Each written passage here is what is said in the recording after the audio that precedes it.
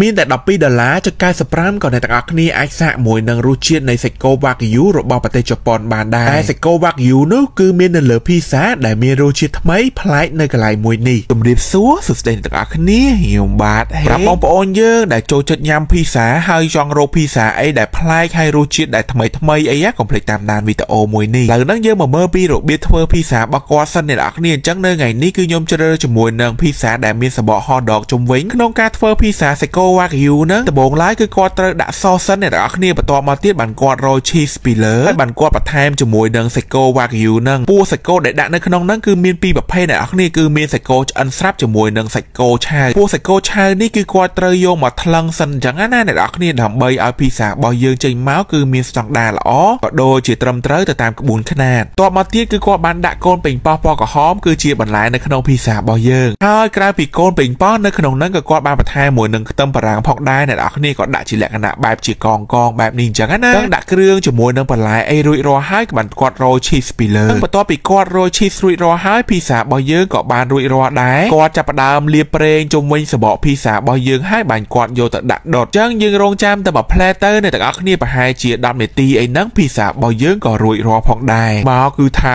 អូយអ្នកទាំងអស់គ្នាគឺថាតំណងមែនតែនហ្មងណាគាត់តែឃើញគឺថាលេបទឹកមាត់ក្អឺក្អឺហ្មងអ្នកទាំងអស់គ្នាដោយសារតែភីសារបស់យើងរត់ដកច្រើនគឺជាភីសាគ្រឿងសមុទ្រឬក៏ជាភីសាសាច់មាន់អីចឹងណាតែសម្រាប់ថ្ងៃនេះគឺថាខុសប្លែកខ្លាំងមែនតើហ្មងគឺនាំអ្នកនរគ្នាមកញ៉ាំភីសាសាច់គោពោះភីសាសាច់គោ Wagyu នេះផងដែរគឺមានពីរជម្រើសសម្រាប់អ្នកទាំងអស់គ្នាគឺមានជាភីសាសាច់គោ Wagyu សម្បក hot dog ហើយមាន hot dog ហុំនៅជុំវិញហើយចំណែកខាងណែវិញគឺជាសម្បកម្ចាស់ដើមសាច់គោ Wagyu ដូចគ្នាហ្នឹងគឺគាត់មានពីរជម្រើសសម្រាប់បងប្អូនយើងបើសិនជាណាគេដែលចូលចិត្ត hot dog អីអាចសាកមួយនៅសម្បក hot dog នេះទៅតែបើសិនជាណាគេដែលអាចចូលចិត្ត hot dog ទេគាត់អាចសាកជាមួយនឹងភីសាសបកដើមនេះបានទៅអ្នកនរគ្នាបន្ទាប់ពីដុតហើយអ្នកនរគ្នាអាចមើលបានគឺថា cheese នៅលើសាច់គោនឹងអូយអ្នកនរគ្នាសាច់គោក្រៀមក្រៀមតិចតិចបែបនេះគឺថាតំណងហ្មងណាហើយក៏គាត់មានជាទឹកម្ទេសក៏ដូចជាទឹកប៉េងប៉ោះសម្រាប់អ្នកនរគ្នាជ្រលក់ជាមួយនឹងភីសានឹងផងដែរតែបើសិនភាកច្រើនសម្រាប់ខ្ញុំអីពេលខ្ញុំញ៉ាំភីសាគឺខ្ញុំអត់សូវជ្រលក់មួយទឹកជ្រលក់មកទេអ្នកនរគ្នា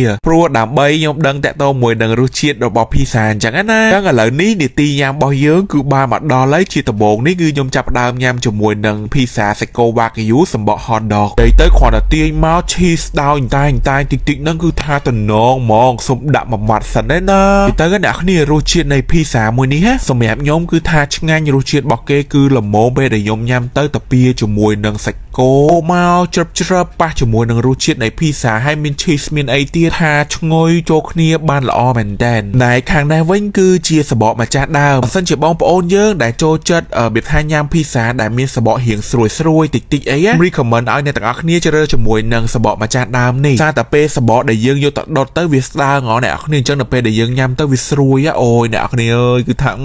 តែបើសិនជាបងបងចូលចិត្តសបក hot dog អីអាចហៅ hot dog ដូចខ្ញុំញ៉ាំបែបនេះក៏បានដែរហើយមួយទៀតវិញបើសិនជាណាគេដែលចូលចិត្តញ៉ាំភីសាឬក៏ជាភីសា lover អាចមកញ៉ាំជាមួយនឹងភីសាសាច់គោ Wagyu នេះបានអ្នកទាំងអស់គ្នាដែលតម្លៃរបស់គេត្រឹមតែ12ដុល្លារចុច95ទេមានន័យថាយើងមានតែ12ដុល្លារចុច95ក៏យើងអាចភ្លក់ជាមួយនឹងរសជាតិសាច់គោ Wagyu របស់ប្រទេសជប៉ុនបានដែរហើយសម្រាប់ទីតាំងក៏ដូចជាលេខទូរស័ព្ទខ្ញុំនឹងដាក់នៅក្នុង caption ក៏ដូចជា comment បីងាយស្រួលសម្រាប់អ្នកទាំងអស់គ្នានៅក្នុងការស្វែងរកសម្រាប់ថ្ងៃនេះគឺថាចង់លាក់ទីតាំងបន្តិចឯងអញ្ចឹងសម្រាប់ទីតាំងកុំភ្លេចឆែកនៅក្នុង caption ទាំងអស់គ្នាបាយបាយ